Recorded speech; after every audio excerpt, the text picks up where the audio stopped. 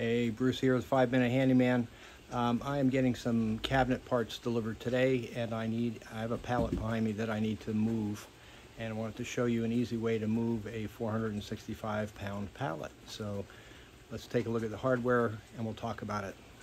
So what I've got is I've got this big pallet here, 465 pounds, and I need to move it over in this area here so that I could put my other parts over here. And so, uh, very easy way to do that. Um, I have a pole here, which is a know, black pipe pole. And uh, what I'm going to do is I'm going to lay it down so that I can roll my pallet on it. All right, and so I also have a nail puller, pry bar, and what I'm going to do is lift that up. So let me show you how to do it.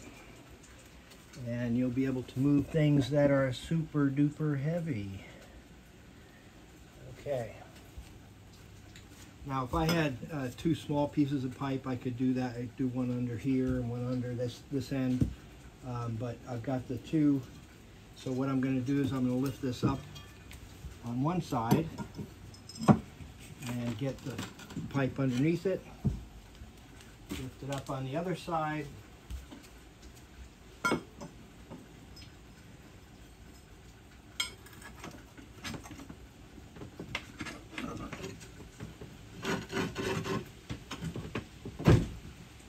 Come on, work with me here.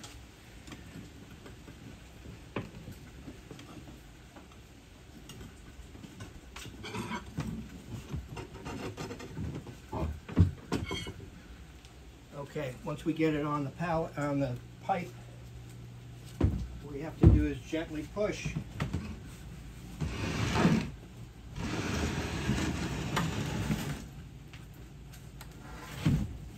this will roll over to where I need it to be.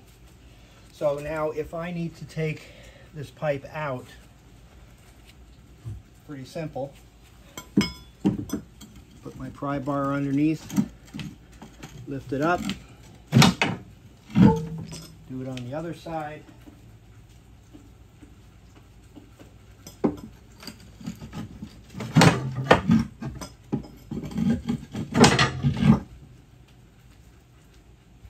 And just go back and forth side to side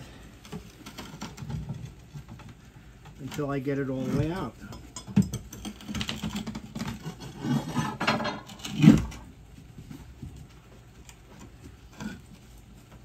Okay. Do the other side now.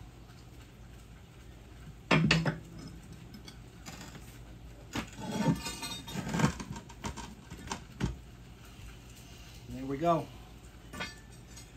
So that's a very easy way to move something that is extremely heavy.